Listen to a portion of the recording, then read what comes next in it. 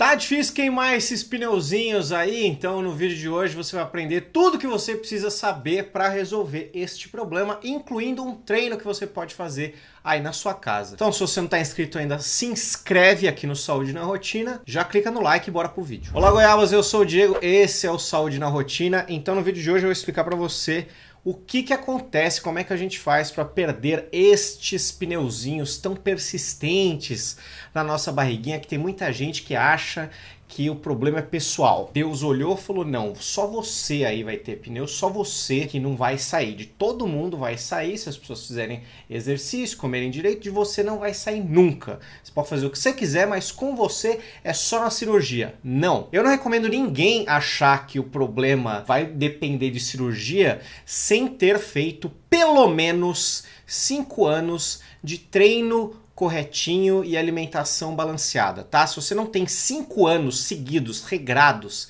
de treino correto e de alimentação equilibrada, não pense em fazer cirurgia nenhuma, não considere a hipótese de fazer uma cirurgia. Pode ser simplesmente falta de disciplina, de regularidade, de consistência na sua vida. Vamos começar explicando assim. Tem dois pontos que você precisa entender para entender o que, que são os pneuzinhos. Primeiro ponto, a gente acumula gordura nessa região da barriga. Tá? Algumas pessoas acumulam gordura principalmente nessa região, em outras pessoas essa região não é das principais ali que acumula gordura, tá? Isso é definido geneticamente, a gente não tem nenhum poder sobre isso.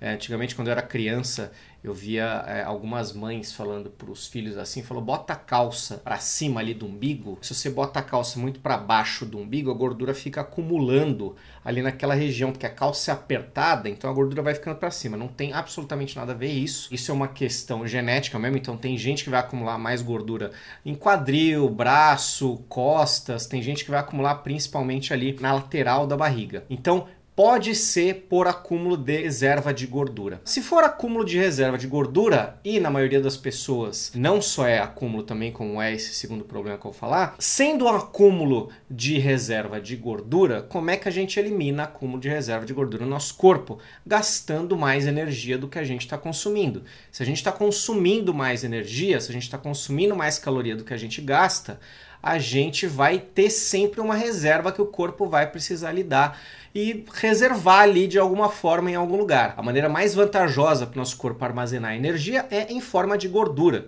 Então é isso que ele faz. Como é que você elimina essa reserva? Né? Quando você quer eliminar, por exemplo, uma reserva financeira que você tem, o que, que você faz? Você sai gastando.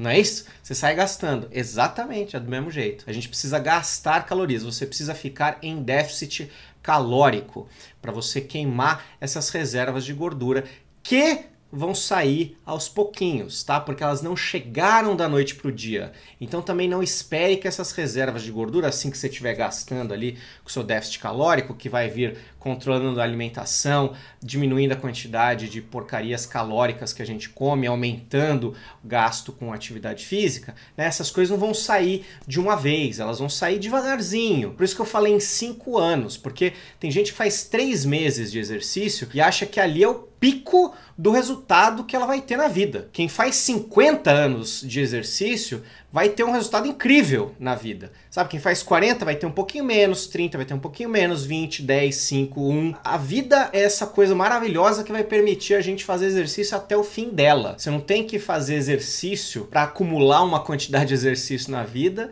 e depois tirar férias. Sabe, o corpo não funciona assim. Quanto mais ativo você conseguir manter o seu corpo pro resto da sua vida, até o seu último dia de vida, melhor vai ser para você. A gente vai fazendo isso aos poucos, tá? Fazendo mais exercício e comendo coisas menos calóricas, a gente tende aí ficando em déficit calórico e gastando mais calorias. Aos pouquinhos, essas reservas de gordura que estão ali na região da nossa barriga, na lateral da nossa barriga, tendem também a ir diminuindo. Só que, às vezes, a barriga ela também está flácida naquela região ali, não só por causa de reserva de gordura que está ali, mas também por fraqueza muscular. Os nossos músculos do abdômen, eles podem estar mais rígidos e podem estar menos rígidos, ou seja, mais flácidos. Se eles não estão fortes, se você não treina eles, se você não faz, por exemplo, abdominal, eles não vão estar fortes. Se eles não estiverem fortes, fortes, eles vão ficar flácidos. Se eles ficarem flácidos, é muito fácil, mesmo sem você ter muita reserva de gordura,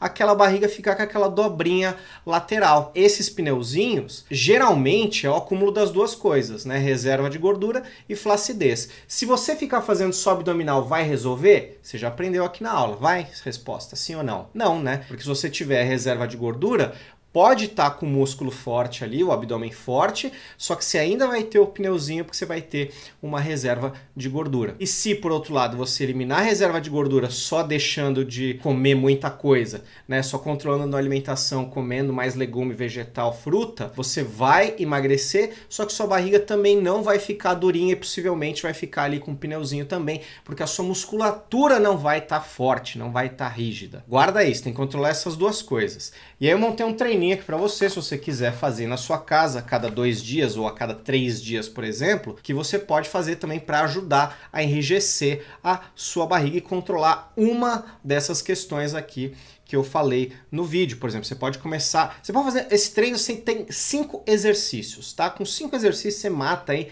tá super treinado o seu abdômen, tá? Você pode, por exemplo, pegar seu celular, algum aplicativo, ou só no reloginho ali mesmo, né, marcar o timer, ou no computador, na internet também se acha site de timer, programar ali intervalo de 30 segundinhos. Você vai fazer exercício a cada 30 segundinhos. Então, por exemplo, primeiro exercício, abdominal bike, você faz por 30 segundinhos. Tem gente que acha um pouco difícil fazer esse abdômen, então pode fazer devagarzinho, leva o seu cotovelo na direção do joelho oposto, 30 segundinhos fazendo um lado, depois o outro. Aí para esse timer, descansa o tempo que você precisar. Se precisar descansar um minuto, dois minutos, pode descansar. Quem quiser descansar menos, uns 30 segundinhos já está suficiente.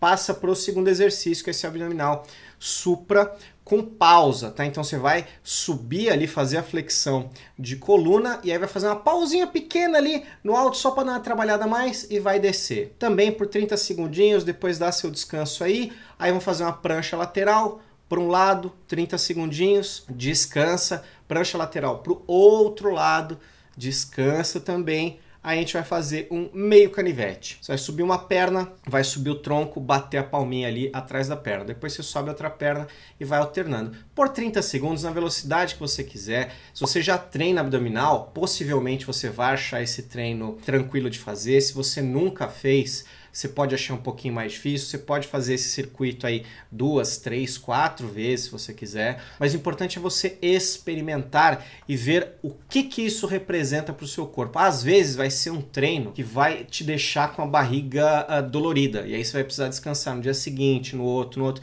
Descansa quantos dias você precisar, volta a fazer o treino quando a sua barriga parar de doer. Mas esse é um treino simples, rápido que você pode ter aí é, anotadinho. Se precisar, volta aqui nesse vídeo. Dá para você salvar esse vídeo aqui como favorito. Volta nesse vídeo aqui, rever essa parte dos treinos para você decorar e ter esse treino aí como opção para você fazer a cada dois dias ou a cada três dias, né? Sempre fazendo o treino e deixando o dia seguinte para dar um descansinho, tá? Assim você vai trabalhar bem o seu abdômen, vai cuidar dessa parte aí para os pneuzinhos uh, não te atazanarem mais, mas lembra que tem outra parte também da reserva de gordura que também pode estar tá causando aí os pneuzinhos. Tá bom? Se tem mais alguma dúvida sobre isso, sobre como perder barriga, escreve aqui embaixo nos comentários que de repente pode virar um próximo vídeo. Gostou do conteúdo? Não esquece, se inscreve aqui no Saúde na Rotina e um beijo para você.